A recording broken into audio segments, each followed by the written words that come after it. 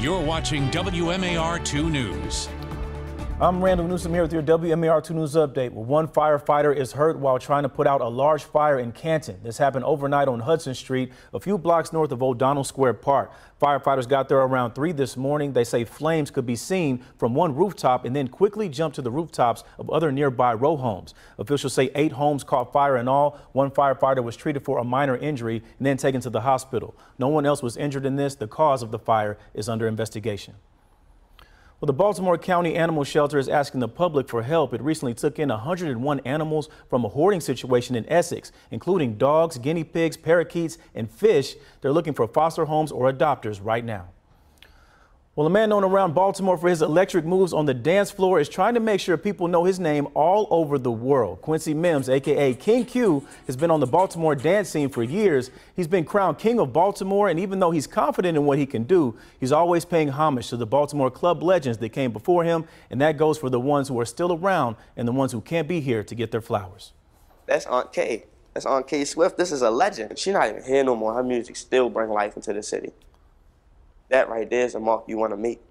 Now, King Q says one of his big goals right now is to compete at the World of Dance competition and bring some of that notoriety and spotlight back to Baltimore.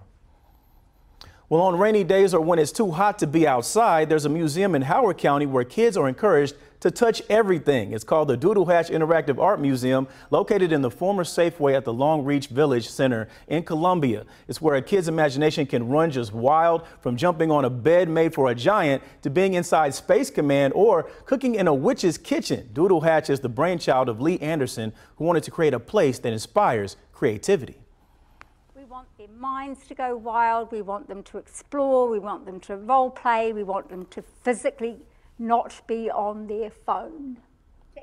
Now, it's $10 for admission, and kids can play there all day long. We have more information on how to get tickets, plus their summer hours over at WMAR2News.com.